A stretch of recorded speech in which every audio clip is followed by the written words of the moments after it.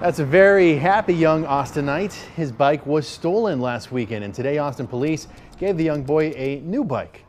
Officers heard about the theft at Helping Hand Home. That's a facility that helps young trauma survivors heal. We knew we needed to get that bike replaced, right? So um, I just end up uh, ended up really texting a couple officers within 30 seconds. They all sent money to me to pay for this bike. It was really it was an incredible feeling. The heroes out of all this place are the staff member, the people that are here that care about the kids that are doing this day in and day out. I just want to thank all of them. I mean, like especially since they all contributed in this.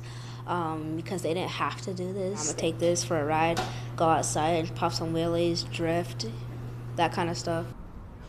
That kind of stuff. Nice. All right. Well, the officer you heard from is part of APD's Blue Guardian program, a community driven mission to help build trust between kids and police. And talk uh, about a gorgeous weekend to take that bike out for him. That's so sweet.